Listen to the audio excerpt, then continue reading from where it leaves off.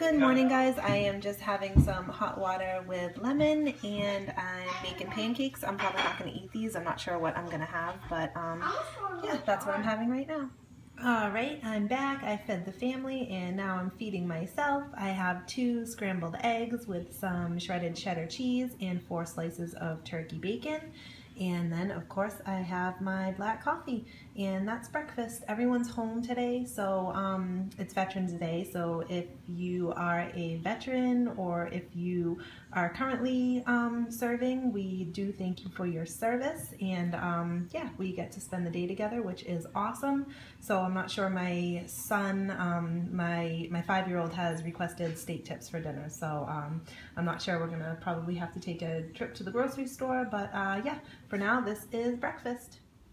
Hey guys, I am just having a snack. I'm having some Greek yogurt and frozen pineapple.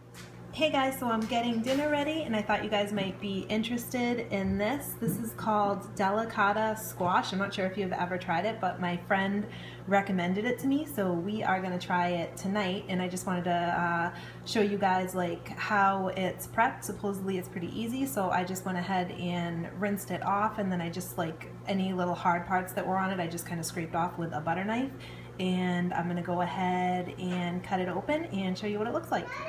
All right, so I cut them open and I'm just gonna go ahead and scrape the seeds out and slice them up. I'm super excited. Supposedly these are really, really yummy. All right, so I just wanted to show you what it looks like when you scrape all the seeds out. So I'm just gonna go ahead and slice them up and supposedly you leave the skins on. So we'll see how it turns out.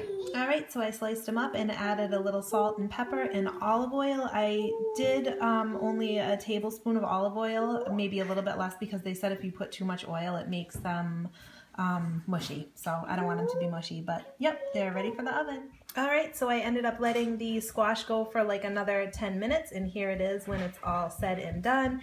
And this is dinner. We have roasted delicata, roasted delicata squash, um, roasted Brussels sprouts, and steak. I'm so excited, but I probably won't eat all of that steak, but I'm gonna try. Oh my goodness, that was one of the most amazing dinners I've had in a long time. Um, I obviously didn't eat all the steak. I only ate about half of it. I was so full. So um, I know what I'm having for lunch tomorrow. I went ahead and packed myself up a little lunch, so I am ready to go. I'm going to go take a bath, and I'm actually going to make my bedtime tea and take it up with me. So um, yeah, I'll probably see you guys tomorrow. Thanks for watching. Good night.